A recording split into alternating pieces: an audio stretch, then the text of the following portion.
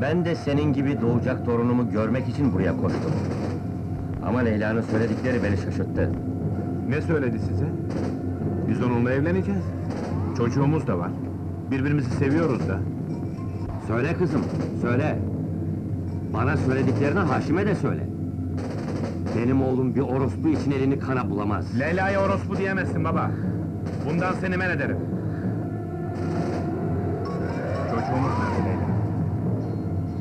Çocuğumuz mu? Bizim mi? Onun kimden olduğunu ben bile bilmiyorum. Çocuğuma bir baba arıyordum, karşıma sen çıktın. Para da veriyordun, iyiydi. Fakat babanı tanıyınca... ...bu asil adamı aldatmak içimden gelmedi. Baban doğru söyledi. Ben en az şehrin yarısıyla yatmış bir kadınım. Orospuyum ben!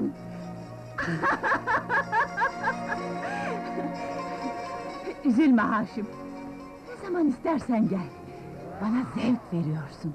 Üstelik para da.